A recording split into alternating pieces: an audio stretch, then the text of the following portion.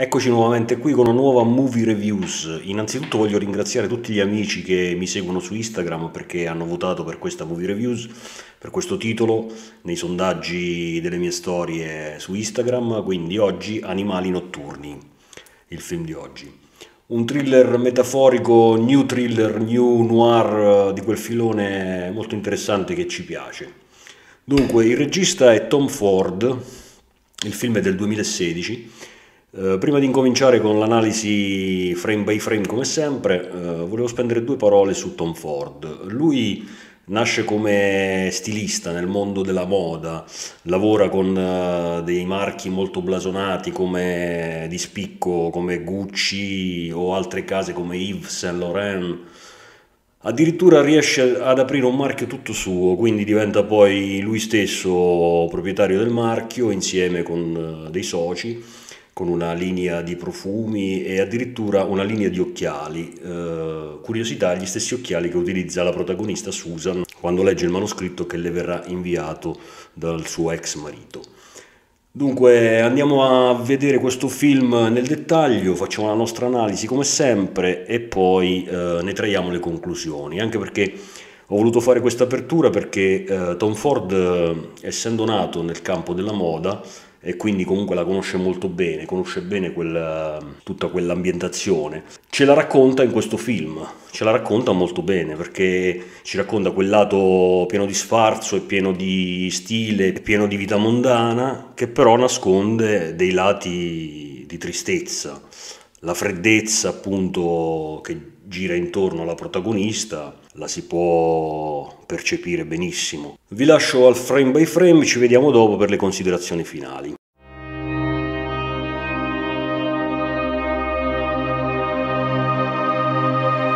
La protagonista Susan, interpretata da Amy Adams, è un'artista famosa che espone le sue opere di arte moderna in gallerie blasonate.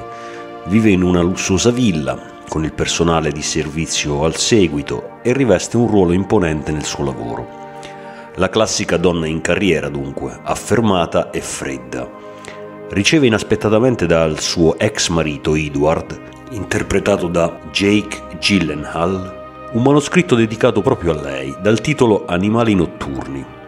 Il titolo del romanzo non è affatto casuale, infatti proprio il suo ex marito usava chiamarla così per i suoi problemi di insonnia. Il suo attuale marito è fuori apparentemente per un viaggio di lavoro, anche se la tradisce con altre donne e lei ne è consapevole di questo, ma non fa nulla per impedirglielo, acconsente tacitamente. Così, rimasta sola in casa, comincia a sfogliare quelle pagine. Il romanzo è molto violento e Susan rimane affascinata da quelle parole e si lascia trasportare da esse, proseguendo avidamente nella lettura. La storia narrata parla di Tony, che è interpretato sempre da Jake Gyllenhaal, che in una notte scura viaggia in auto con la sua famiglia verso il Texas occidentale. La moglie e la figlia assomigliano molto a Susan e a sua figlia, in effetti. L'auto viene speronata e bloccata da tre loschi individui, con a capo un certo Ray, e dopo aver schernito Tony con appellativi che denigrano il suo essere uomo, come faceva Susan quando stava insieme ad Edward, i tre fuggono in auto con le due donne, lasciando Tony solo in mezzo alla strada deserta in piena notte. Tony riesce ad arrivare presso un'abitazione dove chiama la polizia a seguire il caso sarà il detective Bobby Andes, interpretato da un Michael Shannon in piena forma artistica. Un vero duro texano, con il cappello da cowboy e la sigaretta sempre in bocca. Purtroppo le ricerche portano al ritrovamento dei cadaveri delle due donne nei pressi di un capanno. I corpi sono adagiati su un divano rosso.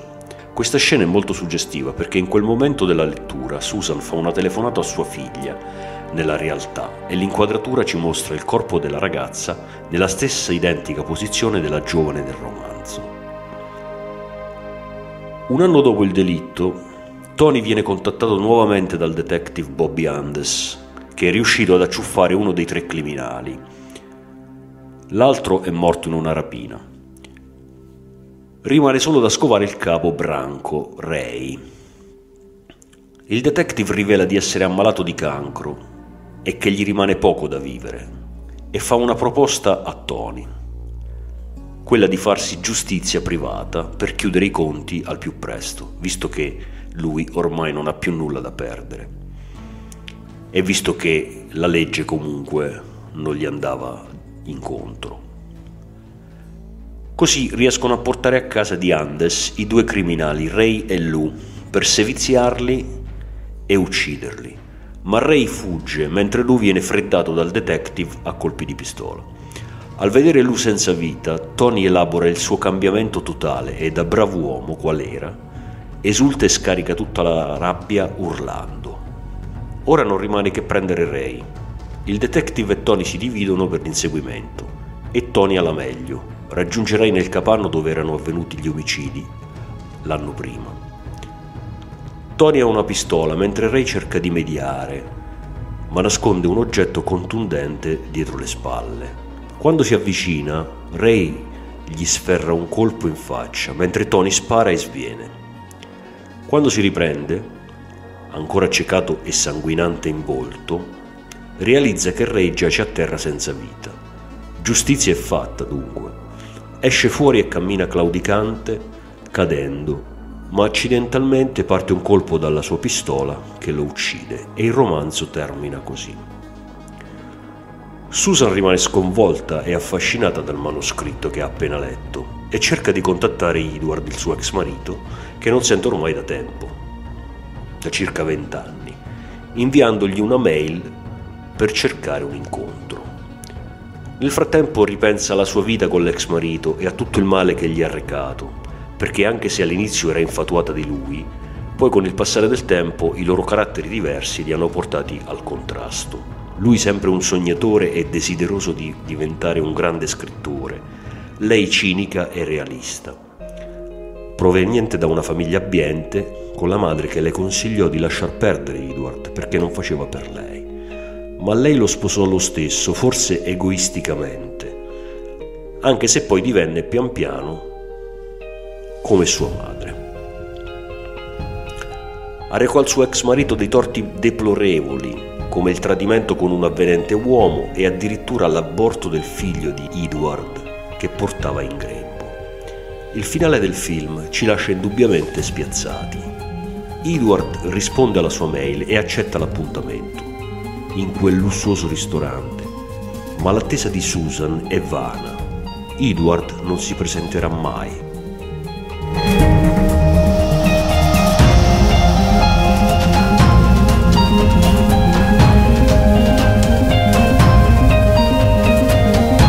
Dunque un film molto ben girato e molto interessante nella trama e nell'interpretazione dei protagonisti. Uh, sia Amy Adams, Susan, sia Jake Gyllenhaal che fa due parti, la parte dell'ex marito Edward che ha scritto il romanzo e la parte di Tony che è il protagonista del romanzo. Quindi il filone narrativo principale è quello della vita reale di Susan in quella sua ambientazione fredda, glaciale, del suo mondo della moda, dell'alta moda. Lei è una affermata gallerista, infatti all'inizio ci fa vedere uh, delle opere d'arte umane addirittura, con queste donne che ballano in sovrappeso che poi vengono stese su dei tavolini e sono appunto loro stesse mh, l'opera d'arte che la gallerista va a mostrare al pubblico.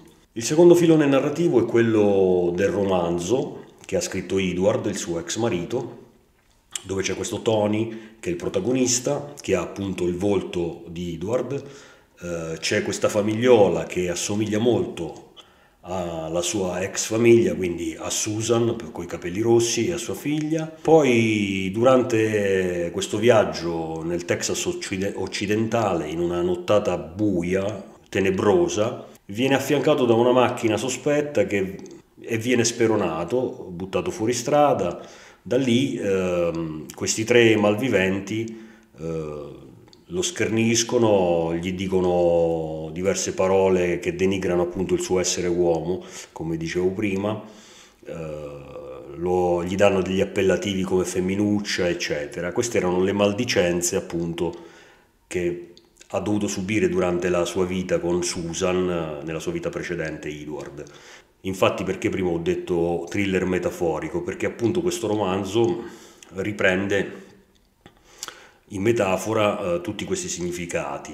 Almeno io la interpreto ovviamente in questo modo. I tre malviventi sono le maldicenze che ha dovuto subire durante la vita precedente con la sua ex moglie. La creazione appunto della famigliola che vuole assomigliare a quella della sua ex famiglia, quindi a quella di Susan. Il detective Alves che lo aiuta anche in maniera rasentando la legge, eh, prendendo appunto vie che non sono del tutto legali, potrebbe essere il suo orgoglio, il suo, la sua voglia di rivalsa. Il romanzo si chiude con la sua appunto rivincita nei confronti del male, quindi con l'uccisione dell'ultimo dei criminali. Ritornando invece alla vita reale di Susan, quindi al terzo filone narrativo, lei, leggendo questo romanzo, si ricorda quando incontrò da giovane eh, il suo ex marito Edward e tra le sue reminiscenze c'è anche il fatto che la mamma era contraria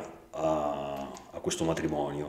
Infatti le diceva sempre lascialo perdere perché non è l'uomo che fa per te, ma lei egoisticamente ha voluto sposarlo. Però poi con l'andare del tempo eh, i due caratteri diversi, lei cinica e realista, lui sognatore e infatti voleva fare a tutti i costi lo scrittore, quindi l'ha lasciato per un altro e gli ha recato anche dei danni oltre che morali, anche il fatto che comunque ha abortito un suo figlio che portava in grembo, quindi gli ha fatto delle cose allucinanti. Il film si chiude con un finale che secondo me non poteva essere girato meglio perché eh, ci lascia a bocca aperta e, e titubanti per un attimo perché Edward non si presenterà mai a quell'appuntamento perché non si presenta a quell'appuntamento? Tom Ford ce lo fa vedere durante il film, passa una scena dove c'è un quadro enorme pa- nel palazzo in cui lavora Susan, in quel palazzo freddo dove c'è il suo ufficio. Lei passa davanti e trova questa scritta a caratteri cubitali Revenge, che significa appunto vendetta. Lei non si ricorda neanche di aver comprato questo quadro e la sua assistente invece le conferma che è stato acquistato anni prima ad un'asta. È il tema finale che spiega tutto.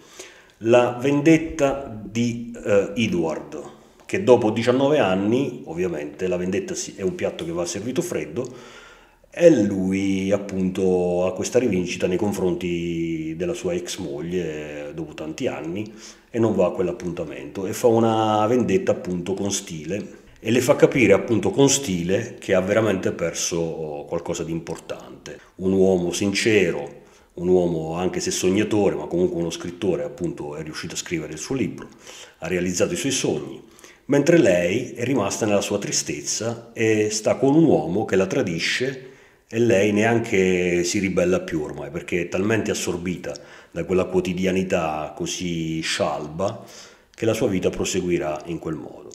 Quindi un applauso a Tom Ford che dopo soli due film colleziona già successi perché il suo primo film è stato A Single Man del 2009, questo qui invece del 2016, una, una bella musica, bella colonna sonora, voglio citare appunto il musicista che è nello specifico il polacco Abel Korzeniowski, che ha collaborato con lui anche per l'altro film A Single Man.